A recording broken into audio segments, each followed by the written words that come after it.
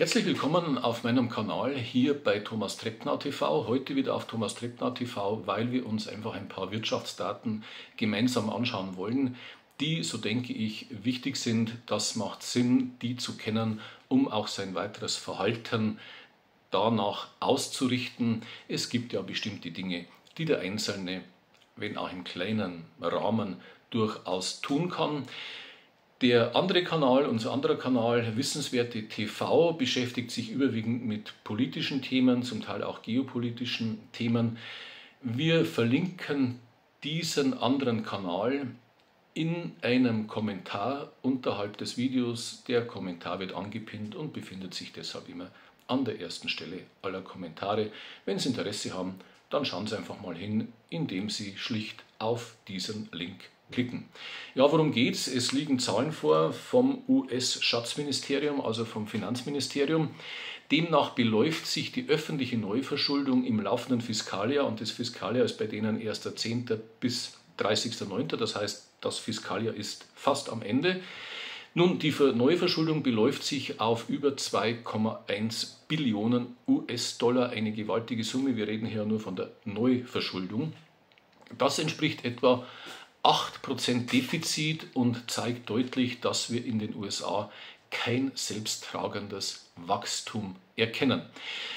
Die Nachrichtenlage aus Deutschland ist katastrophal. Das IFW in Kiel senkte die Bruttoinlandsproduktswachstumsprognose per 24 von plus 0,2 auf minus 0,1 und laut Unternehmensumfrage des IFO-Instituts sank der Indikator für das Geschäftsklima der Autoindustrie von zuvor 18,5 auf minus 24,7 Punkte. Damit bewegt sich der Index auf den schwächsten Niveaus seit 2022.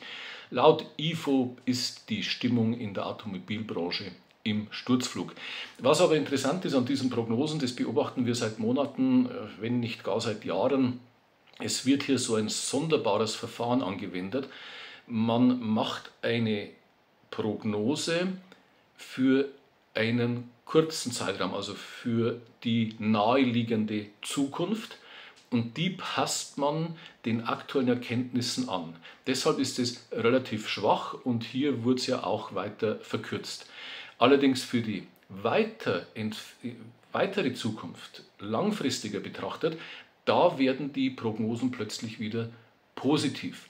Das ist Schwachsinn, so zu handeln. Das ist eine vollkommen uninteressante und uneffektive Prognosetechnik, die letztlich auch nur Schaumschlägerei ist. Möglicherweise macht man das im Interesse dieser sonderbaren Regierung, ich weiß es nicht. Es ist ja alles denkbar inzwischen in unserem Land, im Land des Leuchtfeuers der Demokratie. Jedenfalls ist eine Prognosetechnik, bei der die tatsächlichen Probleme, und das sind einfach strukturelle Probleme, ausgeblendet werden. In dem Moment, in dem man die kurzfristige Prognose macht, kann man natürlich nicht leugnen, was jetzt läuft. Also muss man das in der kurzfristigen Prognose berücksichtigen. Und ohne irgendwie auf die tatsächlichen strukturellen Probleme einzugehen, geht man einfach davon aus, dass in der weiteren Zukunft dann doch wieder besser wird.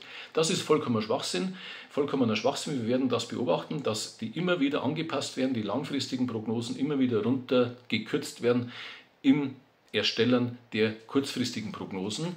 Aber das hat eben momentan System, so läuft das momentan und ein Umdenken ist ja in unserer Wirtschaft nicht zu beachten. Ja, es müssen erstmal die realen Steuernahmen komplett kollabieren mit entsprechenden Folgen fürs Sozialsystem, für die Renten. Dann wahrscheinlich wird man erst den Tatsachen ins Auge blicken und dann fragt sich, ob eine Regierung, und diese wohl ohnehin nicht, in irgendeiner Art überhaupt noch handlungsfähig ist. Das IFO-Institut hat auch die Hintergründe erklärt.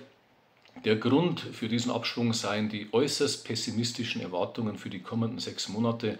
Das Barometer für die Geschäftserwartungen sackte von minus 29,5 auf minus 40,5 Punkte ab.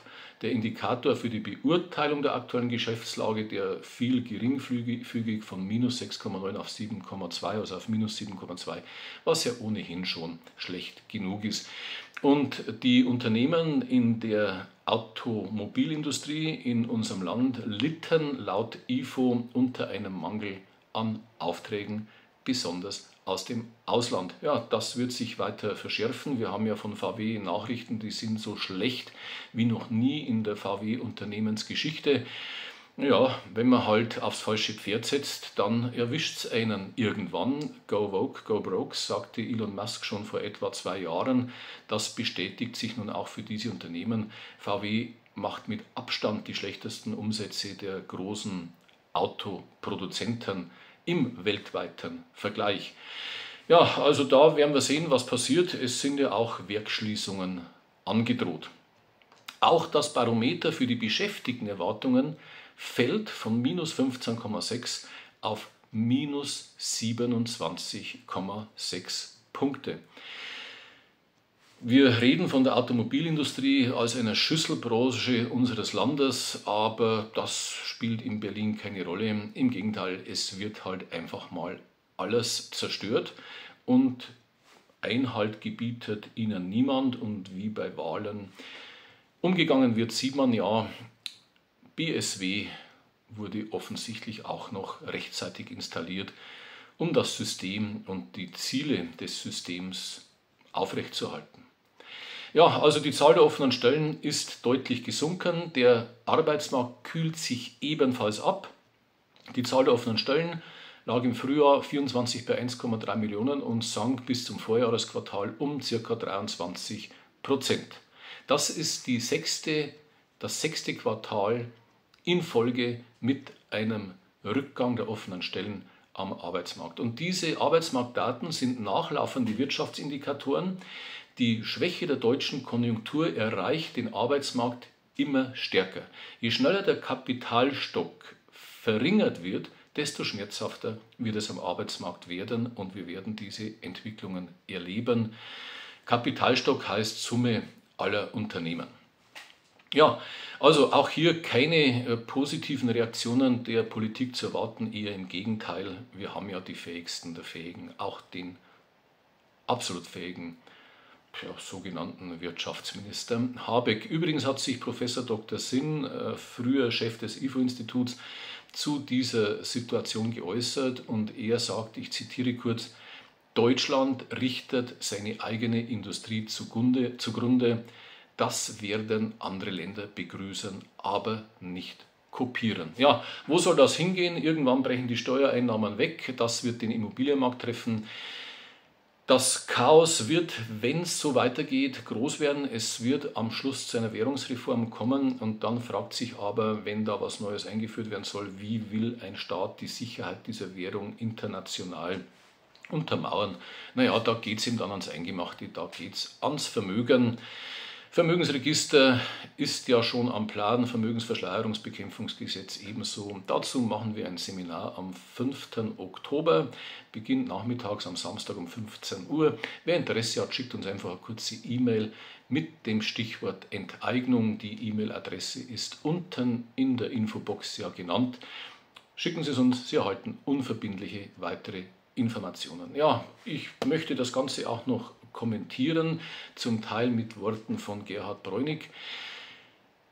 Der VW-Konzern gehört zu den Firmen, die Strukturkredite bekommen und eigentlich dafür nur die Zinsen zahlen. Die Verschuldung des Konzerns ist exorbitant und dass diese Einnahmen nicht mehr für die Zinsen reichen, ist schwer zu glauben. Unser Land bekommt gerade gezeigt, dass die Erfolgsgeschichte wieder mal zu Ende geht und wir demnächst von vorn anfangen müssen. Geplündert wurde jetzt über 80 Jahre. Die bereits während des letzten Krieges beschlossene Deindustrialisierung ist fast abgeschlossen. Man hat eben nur die Grünen dafür gebraucht und eine willfährige SPD und eine ebenso willfährige FDP. Das, was wir unsere Regierung nennen, führt längst einen offenen Krieg gegen die Bürger dieses Landes der Abstieg ist längst vollzogen, es ist fast nichts mehr übrig, es geht nur noch um die Resteverwertung. Kein einziger DAX-Konzern ist mehrheitlich noch in deutscher Hand. Alles, was technisch noch von Bedeutung ist, wird über kurz oder lang an China oder an die Amis verramscht. Weshalb sollte dann der Steuerzahler noch für irgendwelche Verluste aufkommen? Die Antwort ist einfach, weil das so gewollt ist. Wir werden so lange verschuldet, bis alle unsere Werte verpfändet sind. Unsere Bodenrechte, unser Erbe. Das ist es, was sie haben wollen. Joschka Fischer hat schon vor langer Zeit gesagt, das Geld muss aus Deutschland herausgeführt werden, egal für welchen Unsinn, Hauptsache die Deutschen haben es nicht. Der jetzige Wirtschaftsminister Darsteller konnte mit Deutschland noch nie etwas anfangen und bestreitet öffentlich, dass es ein deutsches Volk gibt. Hm, da liegt er wahrscheinlich sogar richtig, denn es gibt nur die deutschen Völker. Ein gutes Beispiel, wie der Hase seit vielen Jahren läuft, ist der längst vergessene Hypo-Real Estate Deal der damaligen Bundesregierung. Während die bundesdeutschen Regierungshampelmänner, wobei das noch die vor der Ampel waren, nicht eingesprungen wäre der italienische Großaktionär einen Tag später auf dem Milliardenschaden gesessen. Nachschusspflicht heißt das Zauberwort.